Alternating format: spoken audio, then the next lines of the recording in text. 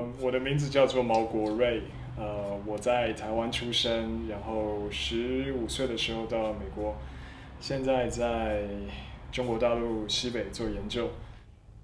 So basically, I wanted to uh, understand uh, how the interaction between the state and the market actually influence the social and economic actions of local peasants in northwestern China.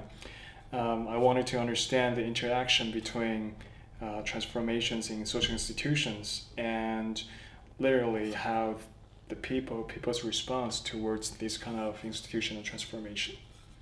The, the real reason that I applied for the summer academy was because I thought that it, it was actually a great opportunity for me to broaden my perspective.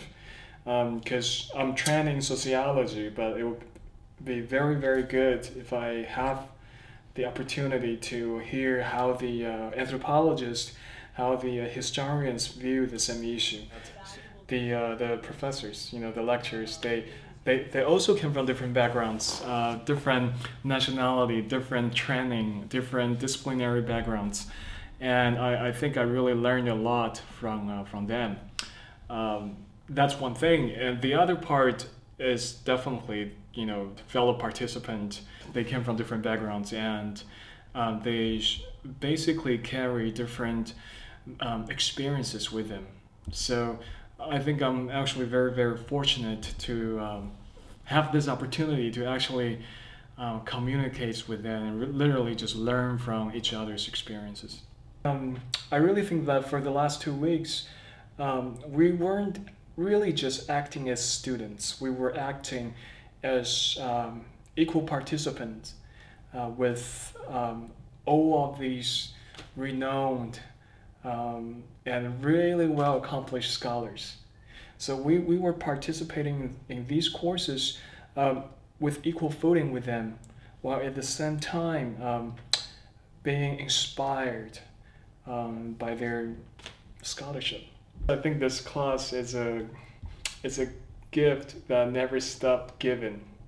You know, I, I would say every day um, there are there are instances in which I really felt that you know I, I was thoroughly inspired. I would say that the thing that so far I've enjoyed the most is actually um, the discussion on communication among participants because each of us bring with us, you know, um, experiences from living in different cultural and natural environments.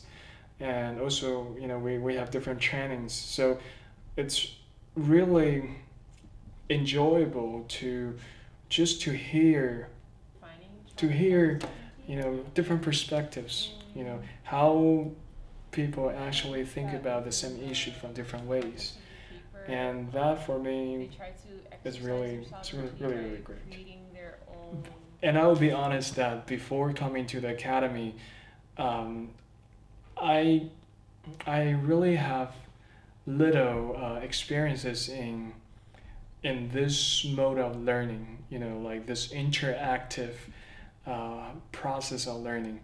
Uh, for me you know um, scholarship is really just about reading journal articles, you know, taking down notes, uh, build the uh, build a coherent comprehension of the issues by myself, and also from from taking uh, graduate seminars.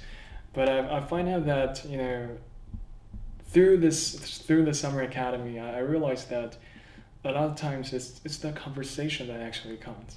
You know, it's the conversation be, among people who who from different backgrounds but share the same interest, that those things are the most inspirational. So in the future, if I become an educator, I think I will definitely integrate um, these kind of uh, this learning process into my own uh, pedagogical approach.